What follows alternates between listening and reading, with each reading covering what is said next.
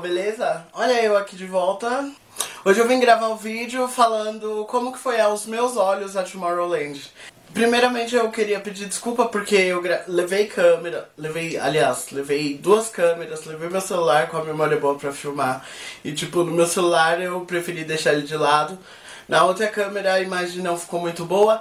E nessa que eu estou gravando pra você, simplesmente a metade dos arquivos que eu filmei depois que eu cheguei lá quando eu passei pro computador tá aparecendo arquivo corrompido. Eu até peço ajuda se alguém souber como, como resolver esse problema de arquivo corrompido, me dá uma dica aí embaixo.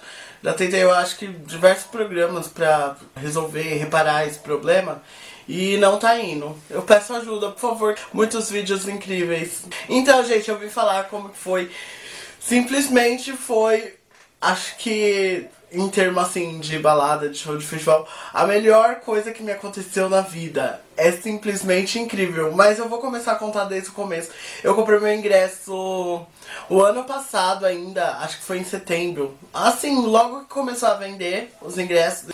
Aí fiquei nesse tempo todo aguardando e tal. Como é longe daqui, né, e tu, e não é simplesmente só pegar um ônibus e ir. E eu comprei o transporte e esse transporte era open bar. Open bar? Quem não gosta de bar, né? Um dia antes, eu não consegui dormir. Simplesmente, eu tava podre de cansado, que um dia antes eu já tinha saído. Eu fiquei arrumando as coisas, arrumando roupa, separando isso, separando aquilo, separando documento e tal. Eu fui dormir, era mais ou menos umas 3 horas, eu tinha que acordar às 6 horas da manhã, porque eu moro longe da onde já saiu o transporte. E eu teria que e fazer milagre. Ou seja, não dormi quase nada. Acordei no outro dia, aí eu fiz aquele negócio ainda, aí mais 5 minutos. Detalhe, pra você ver como eu tava cansado, porque normalmente quando é pra ir pro evento assim, eu pulo da cama, jogo tudo e correndo. Aí eu levantei, fui, me arrumei, tomei café e fui pro evento. Todo mundo me olhando assim, eu todo louco. Todo louco não, né? De bermuda, boné, óculos na cara. Sete horas da manhã, um monte de gente não trabalhar isso no sábado. Aí eu fui, Peguei um metrô, um ônibus. Olha que dia lindo.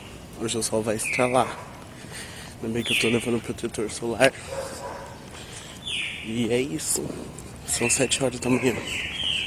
Sete e alguma coisa. Vou passar na padaria comprar alguma coisa pra comer, que eu não comi nada. Fui.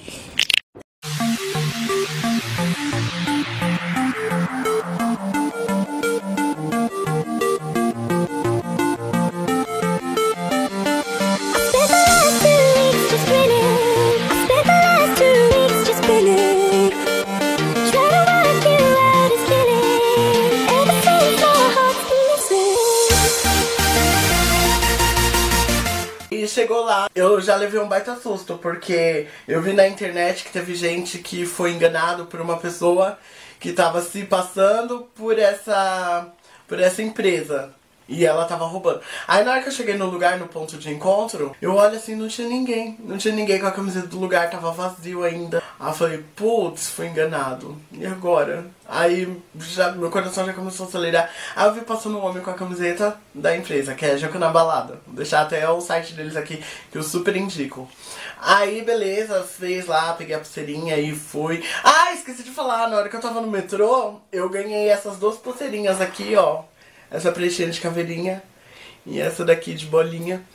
Porque eu tava com essa pulseira, a da Tomorrow, e com mais uma aqui. Aí o homem no metrô viu, aí ele falou assim, você tá indo pra Tomorrowland? Aí eu falei, tô. Aí ele falou assim, é, te dá uma pulseira, você tira uma foto, assim, só mostrando, assim, perto do palco, assim, só pra mim postar no Instagram. Aí eu falei, tá, tá bom. Aí ele me deu as duas pulseiras. Ó, o nome dele, o cartão dele, ele me deu. Fábio Franco. Pulseiras e acessórios. Qualquer coisa vou deixar aqui embaixo também. Super simpático ele, adorei. Tem várias pulseiras legais. Eu vi lá no Instagram dele, então quem tiver interesse em acessórios, pulseiras, assim, que é louco da pulseira, assim como eu, já procura aí. Enfim, aí entramos no ônibus, tipo, eu fui sozinho daqui, não conhecia ninguém. Eu ia encontrar uma galera lá. Aí, tipo, no ônibus todo mundo já entrou, todo mundo no seu lugar, assim, quietinho e tal.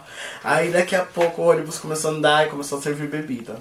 Aí a gente começou a beber dentro do ônibus, já virou aquela bagunça, já começou a fazer amizade, já fiz amizade com gente, todo mundo bem louco. Aí eu conheci a Emily.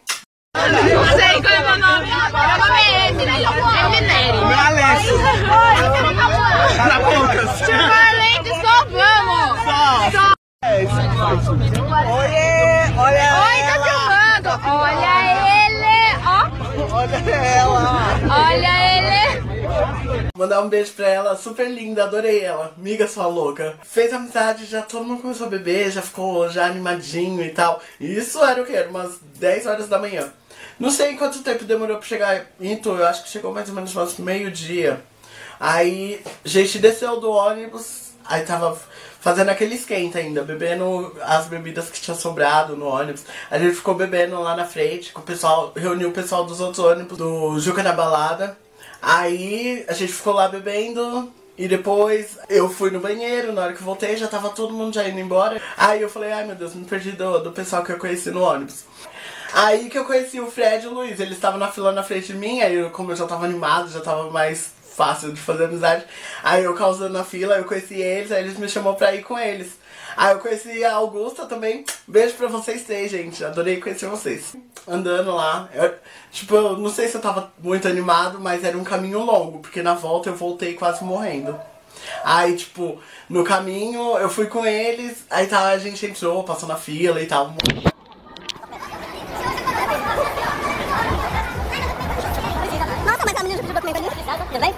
Vou a gente sempre fala, né?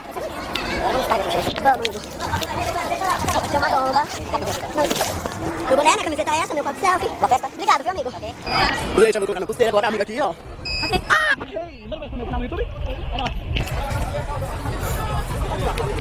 Hello, it's me. Aqui, ó. As migas loucas. Aqui, pois. Nada mais comer muito. Muito, muito, muito.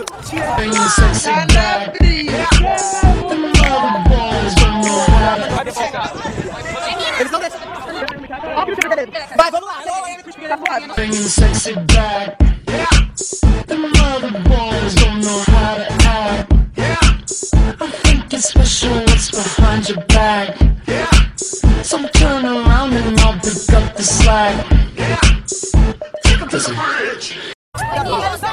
Ó, gente super boa, adorei conhecer eles. A gente entrou lá e eu já tava super animado já. No nível, já no teor alcoólico já, eu acho que foi andar e o sol assim não bateu muito bem. Aí eu conheci o resto do povo que eles conheceram, ou que tava com eles. Chegando lá dentro, aí a gente foi no banheiro e eu me deparei com uma stage. Gente, que coisa linda. Lindo, maravilhoso, imenso, assim, ó, tipo, algo fora do normal que você jamais imaginaria no Brasil. Pra mim que, tipo, acompanho a Tomorrowland, assim, pela internet, claro. Desde o quê? Desde 2010, mais ou menos. E, tipo, eu olhava aquilo e falava, gente, meu sonho ir nesse lugar, só que eu nunca ir, porque era na Bélgica até então, né? E, tipo, eu falava, eu nunca vou ir num lugar desse, vai ser, tipo, aquele sonho que só vai ficar na internet. E agora tá no Brasil, tava ali na, na sua frente, era de se arrepiar todo, assim, ó. Você olhava incrível, assim.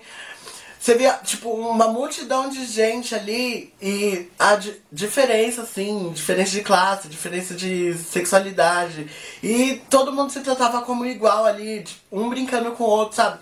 No evento inteiro, você via, tipo, gente de outros países, de muitos países, assim, até países que seria mais fácil pra eles ir na Bélgica, vieram pro, pro Brasil pro evento. Era, tipo, era uma coisa linda, assim, ó, era inacreditável. E você via, tava todo mundo naquela união, sabe? Eu não presenciei nenhuma briga. Falaram que teve bastante assalto. Assalto assim, não vai, passa celular. Não, tinha uns malandrinhos, como em todo lugar sempre vai ter. Vai lá, vai se aproveitar, vai pegar algo do seu bolso, assim, algo que deixa fácil, assim. Mas, meu, era uma união incrível, assim, uma energia tão boa que vocês não têm noção. Aí teve uma hora lá que eu, eu subi pro tablado.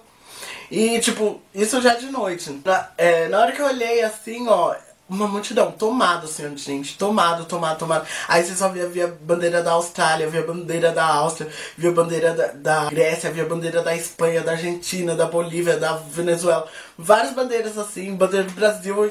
E, tipo, era incrível, assim. Você olhava assim e falava, nossa, é sem palavras, simplesmente sem palavras. Você vê aquela mar de gente ali, todo mundo unido ali por um estilo de música, assim, sabe? Você não via briga, assim. E, e, tipo, meu, tinha muita gente bêbada, muita gente já nível já alterado já. E você não via briga como você vê em muitos outros eventos de outros estilos, assim. Era uma coisa realmente linda. Bastante gente fantasiada, muita gente bonita, bem bonita, assim, sabe? Gente, tudo simpática. E tipo assim, teve horas que eu me perdi do pessoal que eu fui me encontrar. E tipo, era meio que impossível você ficar sozinho. Você ficava parado assim, um pouquinho sozinho, já vinha alguém chegava em você, já puxava assunto, você já começava a conversar com você ia ver se já tava com o Facebook já da pessoa, já tirando foto com a pessoa. Então é tipo, é impossível você ficar sozinho num lugar desse. Eu quando eu fui, eu falei bem assim, porque eu tava no grupo do WhatsApp de um pessoal que ia, eu conheci eles, falei que ia ficar andando com eles. Mas de amigo, amigo meu assim, eu fui sozinho. Aí tipo, eu falei, ah, vou andar com o pessoal lá, né? Só que meio pensando bem assim, ah, mas eu vou ficar sozinho, né? Porque, tipo, não vai ter muito assunto, que não sei o que. Mas, meu, é completamente diferente. Era, tipo, eu ficava sozinho um pouquinho e vinha alguém. E, tipo, a minha burrice foi que eu passei a noite inteira só bebendo Frozen da Skull. Olha o copinho, que lindo. Eu peguei dois. Na verdade, eu peguei uns 10. Você comprava a bebida e acho que por mais uma pérola você ganhava o copo. Pér pérolas. Aí, tipo assim, é, na Tomorrowland funciona assim, você recarrega a pulseira, pra comprar você encosta ela lá e, e compra a bebida, entendeu? Aí a moeda deles são chamada pérolas e ela é mais cara que o euro, ela vale 6,25, é cara. Então aí valia 3 pérolas essa bebida. E eu fiquei a noite inteira me arrependi, porque se eu tivesse comprado bebida em outro lugar, outras bebidas, eu teria, além de ter pago mais barato, eu teria ganhado os outros copos da Tomorrowland. Agora só, só me sobrou esse. Mas as melhores memórias são aquelas que ficam na cabeça, né? Então tá valendo a pena. Aí também comprei as pulseirinhas. Essa daqui é tipo aquelas lá de promessa, sabe? Essa daqui eu comprei pra me amarrar na minha mochila depois. E o que eu mais, o que eu comprei que eu mais gostei, mais gostei, mais gostei é o que tá na foto, é a bandeira, a bandeira da Tomorrowland. É uma experiência incrível. Quem nunca foi, eu indico, super indico aí. É um festival que você vai curtir muito. As comidas, eu comi lá, comi até bem. Tipo, não sentia fome toda hora. Aliás, eu acho que eu nem senti fome. Eu comi mais por falar, ai, eu preciso comer, senão eu vou passar mal. O sol era de matar terrivelmente. Você sentia fritando assim, ó, na sua pele. Eu levei protetor, passei só uma vez, aí eu fiquei ardido, perdido. Mas o sol era de matar. Não senti frio de noite, como muitos falaram. Não senti frio. Foi super tranquilo, foi a melhor coisa que aconteceu da minha vida. Teve uma hora que começou a tocar uma música. Aliás, duas vezes. Tocou é, Beautiful World, do Blaster Jacks, e quando tocou Silence, do Chesto, que lembro da minha amiga, eu comecei a chorar, e na hora que começou a tocar Chesto, eu me arrepiei todinho, assim, ó, aí não, não aguentei, comecei a chorar. E olhando aquele mais stage lá do tablado, assim, ó, maravilhoso, imenso, não tem comparação. Ali, aquele lugar ali, a energia que as pessoas te passam, é, é tipo, incrível, é de ficar arrepiado assim mesmo, de sentir vontade de chorar. Você vê que tá todo mundo unido ali por um estilo de música indiferente do, das suas diferenças, da diversidade que tem ali naquele lugar, gay, lésbica, hétero, velho, novo. Eu vi tanta gente com os pais, eu acho, mano, muito foda, muito lindo. Um monte de gente com seus pais, tinha gente até com vô lá, com tio, tipo, pessoa já de idade, assim, lá no evento, curtindo, fritando igual, assim, ó. Maravilhoso. Então, eu falo, Agora vou juntar dinheiro pro ano que vem, eu ir os 5 dias. Passar o perrengue do, do Dreamville, mas eu quero ir os 5 dias porque é realmente algo maravilhoso. Agora eu vou encerrar aqui o vídeo. Vou deixar algumas imagens pra vocês. E peço aí força e ajuda aí, se alguém puder ajudar pra mim como recuperar as minhas imagens. Pra mim fazer um aftermove que nem eu fiz no EDC. E eu peço ajuda aí de vocês, tá bom? Então, beijo pra vocês. Encontro vocês neste mesmo canal, não neste mesmo horário. Opa! E antes que acabe o vídeo, queria falar aí pra vocês. Quem gostou, curte, comenta, dá like, compartilha. E se você ainda não é inscrito no canal, se inscreve aí embaixo no botãozinho vermelho. Inscrito, inscreva-se, que nem esse daqui, ó. Que vai aparecer aqui. Aí você se inscreve lá, tá bom? Falou!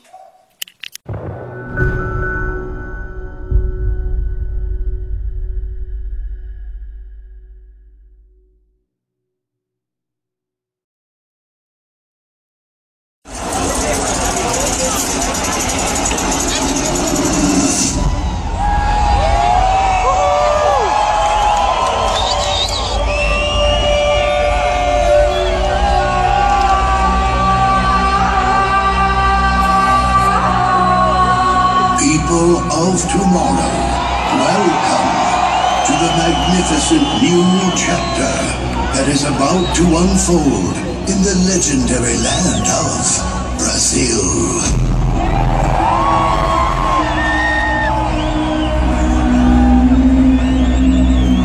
You have been brought here together to witness the secret behind a magical key. A myth that is the doorway to a work of art.